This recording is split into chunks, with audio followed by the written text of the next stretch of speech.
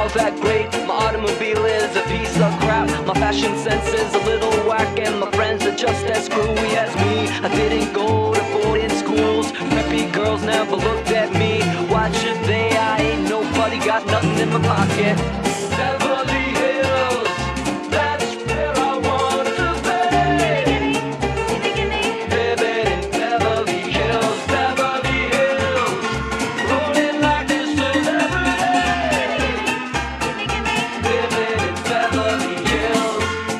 All those movie stars, they're all so beautiful and clean. When the housemates scrub the floors, they get the spaces in between.